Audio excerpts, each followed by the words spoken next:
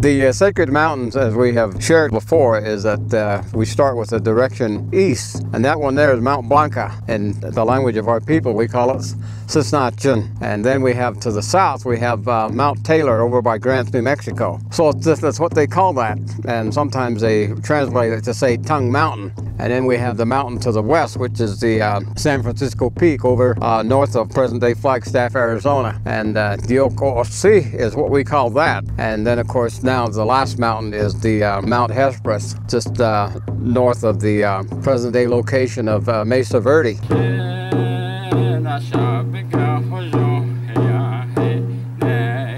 This is the sacred mountain to the east, and it's the Mount Blanca is what they call it in English, but in the language of our people, it's called Cisnachin. This is the first mountain that the, the Neh encountered when they came into this part of the continent.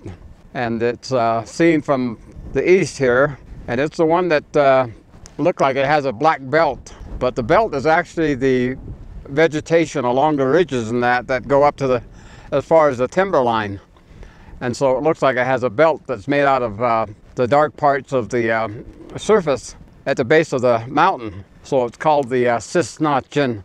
Cis is belt, Nachjin is that it comes down off of the, uh, the mountain. So this is called uh, Cisnachin. It's the first sacred mountain to the east. And this area, as we are told by the old people, is that the grass grew very tall here, about almost waist high. And there was buffalo and pronghorn, antelope and that in great numbers. And this is the area that the uh, Dene looked out over here to the north and they saw these mountains with the uh, piles of snow on top. And so they referred to it as Topatataskit. That means there were hills of water. And uh, so they understood that when the snow melted, that the, uh, it produced water. And so they called it Topatataskit. And so this area here is uh, the place that the, the came into the area first. So there are a lot of stories in that, and songs and prayers in that that mention this area as uh, they are mentioned in the ceremonial uh, settings and so on. And the um, abundance of uh, wildlife out in this area. And then the other thing about the uh, land area to the north of us here and to the south, there are places where there are large areas of white sand. Sebat is uh, the way that they refer to it. And so those are areas that are designated on present day maps and so on, and uh, designated as uh, special lands and that set aside and that for uh, Park Service type lands.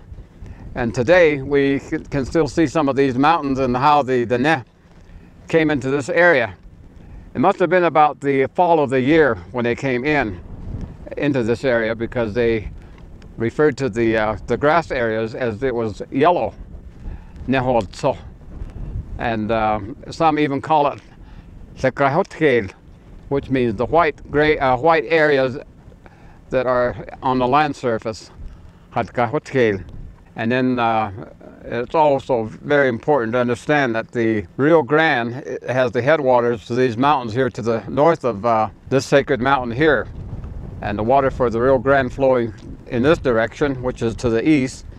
And then also it flows, uh, the snows melt and they flow to the uh, west into the Gunnison Valley. And the waters from this area, the snow melt, flows down into the Gunnison Valley, and then from there it flows into the Colorado River. And so the stories are told about uh, this area when they, the Dene first came into this part of the continent some 2,000 years ago.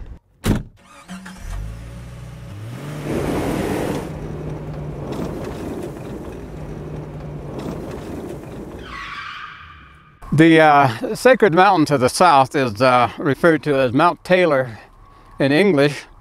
In the language of our people, it's called Sotzit.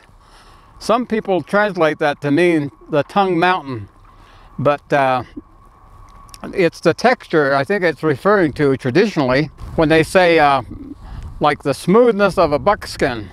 The sho, is what they would call it in that way, is that it is velvety looking, smooth looking, and so they would call it Sotzit.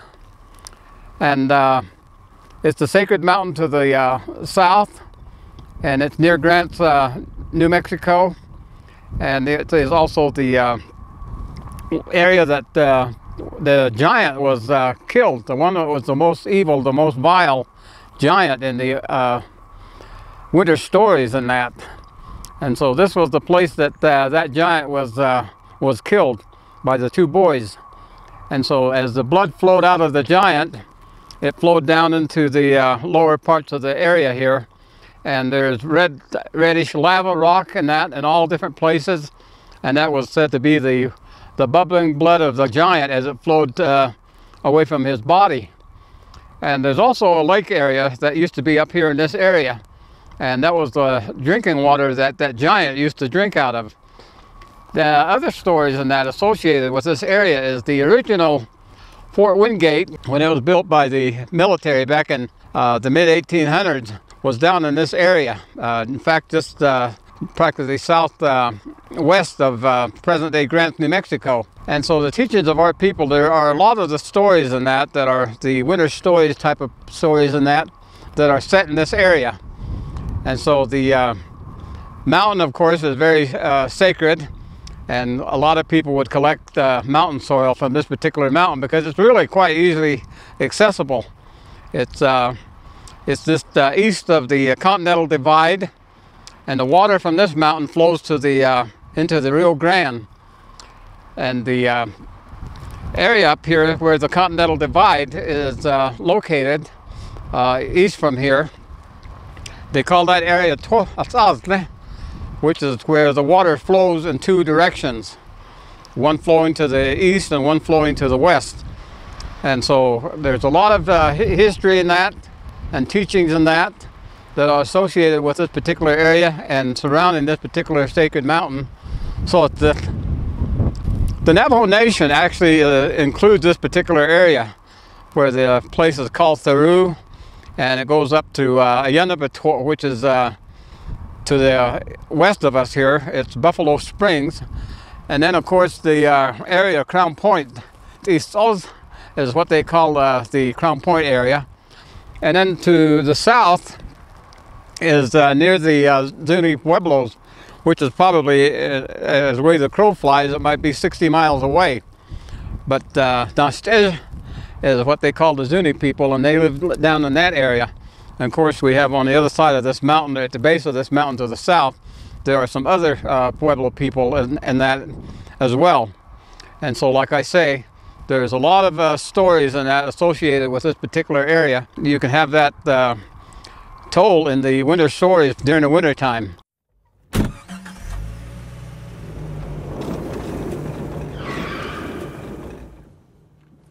We're uh, here near the uh, sacred mountain to the uh, west, uh, referred to sometimes as San Francisco Peak, sometimes Mount Humphreys. But to our people, it's called the uh,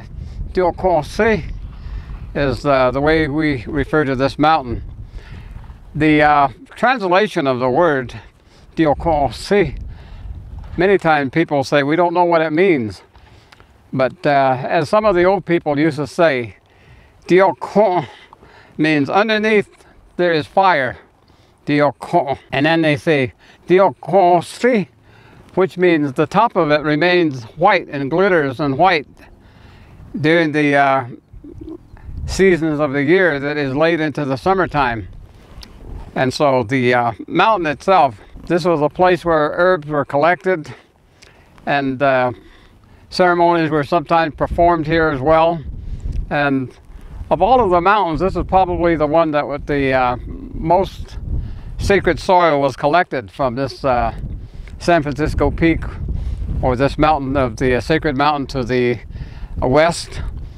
And so the teachings are that people, uh, the Ne, lived all around this area for many years. And there's still, you know, some of the people that have uh, become the Neh more recently, which was the many goat people and the black sheep people, which we call the Thunder Neh or the Betagenda Neh, occupied much of this area through here and around to the uh, toward the edge of the Grand Canyon and out toward the uh, flatland areas. Uh, Wupatki is sometimes uh, referred to this area that there are some ruins A lot of times people think that th those are Anasazi ruins, but uh, some of the old people say no, that is people that became Dene. And there are many people from this area there that became Dene as well. So the edge of the uh, rim, before you drop down into the lower land, is uh, the Mogollon Rim just south of the San Francisco Peak. And that area, all of it, was uh, occupied by Dene. And they say that the Tango people, uh, Or Ashi sometimes referred to as uh, the Salt people, the Salt clan. And uh, of course, coming this way in more recent times, the Black Sheep people and the Mini-Goat people, all of them uh, occupied these areas, these clan families. And so this mountain here to the, uh, the sacred mountain to the west, the Logosi, it has a name and it has a lot of history with the people that occupied this area. And so much of the herbs in that that were collected annually, and that came from this mountain. And uh, the teachings are that there are certain songs in that that apply to, this mountain by itself, like all the other sacred mountains as well. But more so to this one here. I don't, I'm not sure as to why this was the most uh, sacred of all of the mountains that the Dene recognized.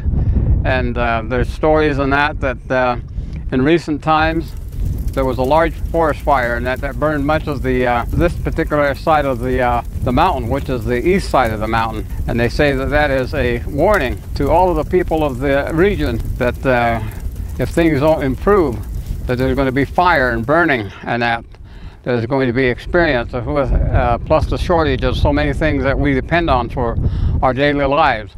And so there are still a lot of teachings on that associated with what we are told about the uh, Diokosi and uh, the teachings of our old people. And those are the things that we are told.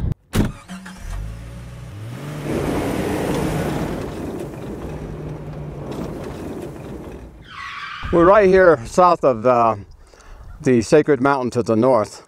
Mount Hesperus is the, uh, the name that is given to it on the map, but uh, in the language of our people, it's called the Bensa. The Bensa is actually a reference to the, uh, the bighorn sheep and traditional stories in that is that it is said that there were hundreds of uh, bighorn sheep that would uh, graze down here in these flat areas.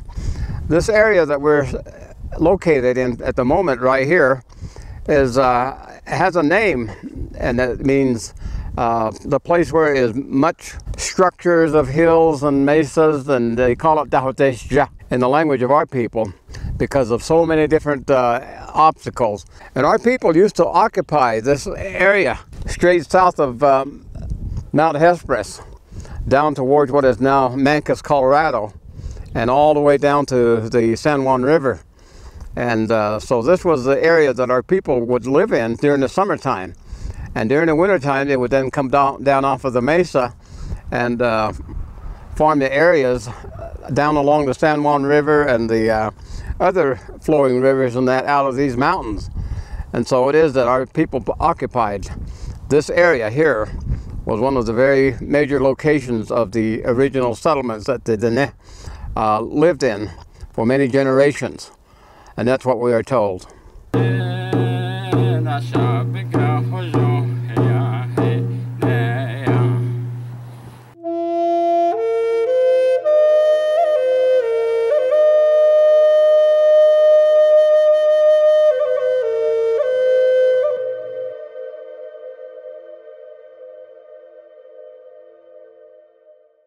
Hey, thanks for watching our videos. If you like what you see, don't forget to uh, subscribe and hit that notification bell so you never miss one of our uploads.